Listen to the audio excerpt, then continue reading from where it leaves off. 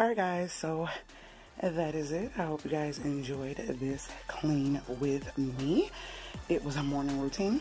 And that is it. If you like these videos and enjoy these videos, make sure that you thumbs up and I will make sure to continue making them if you enjoy them. If you want to see anything specific, I had some requests for some things with trash, um, when I empty trash. Some people like certain things, so if it's something, nothing is too weird. Some people get satisfied from certain things. If there's something you like, please let me know. So what I did with the bed, just so I give an overview, we sleep on top of the sheet. We never take it off. So what I'll do, I started doing, excuse me, because I figured it was like a waste of the bottom sheet.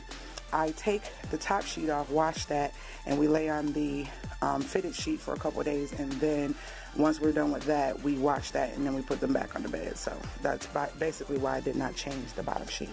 But this is the room. I hope you guys enjoyed. And we will be doing a detailed clean because those blinds are hideous. There's dust in a lot of places. This was just what I do in the morning. Um, not all the time the desk, but the desk need to be tidy. But usually when I get up and clean my room, this is kind of what it looks like. But we do live in our home, and I wanted to share that with you guys. I didn't clean the mirrors today, so mirrors, blinds, dusting stuff that I don't usually dust. That stuff will be getting done soon.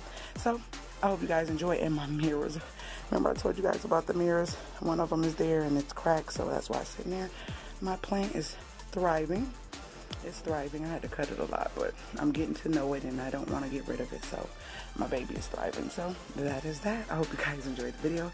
Later, Gators. And remember, stick to your script because you are the best at it. Goodbye.